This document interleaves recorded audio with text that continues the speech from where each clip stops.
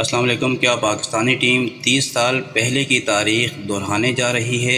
Adelaide से ही world cup उन्नीस सौ बानवे में पाकिस्तानी टीम की किस्मत बदली थी। इंग्लैंड के खिलाफ कौमी टीम सिर्फ़ चौहत्तर रन पर आउट हो गई थी, लेकिन बारिश की वजह से दोनों टीमों को एक एक पॉइंट मिला और यही एक पॉइंट उसे आगे लेकर गया। अब 30 साल बाद पाकिस्तानी टीम इस ग्राउंड से अहम मोड़ पर आ गया है। एडिलेट ओवल के ग्राउंड में उन्नीस के आलमी कप में पाकिस्तानी पाकिस्तानी टीम की किस्मत बदली थी। टी ट्वेंटी वर्ल्ड कप में भी पाकिस्तान की किस्मत ने इसी ग्राउंड से पलटा खाया। जंग अखबार की रिपोर्ट के मुताबिक, इंग्लैंड के खिलाफ वो सिर्फ़ चौहत्तर रन पर आउट हो गई थी, लेकिन बारिश की वजह से दोनों टीमों को एक एक पॉइंट मिल गया था और यही एक पॉइंट उसे आगे ले गया। और अब तीस साल बाद पाकिस्तानी टीम इस ग्राउंड से अहम मोड़ लिया है। नैदरलैंड ने जनूबी अफ्रीका जैसी मज़बूत टीम को हराकर तहलका मचा दिया और फिर पाकिस्तान बांग्लादेश को हराकर सेमीफाइनल में पहुँच गया। उन्नीस सौ बानवे में भी यही दोनों टीमें लास्ट फोर मैच में मध्य मुकाबिल थी। पाकिस्तान ने इंजामुल हक, जावेद मियादाद, मोइन खान, कप्तान इमरान खान और रमीस राजा की बैटिंग की बदौलत दो सौ बासठ रन का हदफ हासिल करके फाइनल में जगह बनाई थी। अब तीस साल बाद वही मरहला आ गया है कि पाकिस्तान टीम उन्नीस सौ बानवे के वर्ल्ड कप के बाद 2022 के टी वर्ल्ड कप को भी जीतने की पोजीशन में है।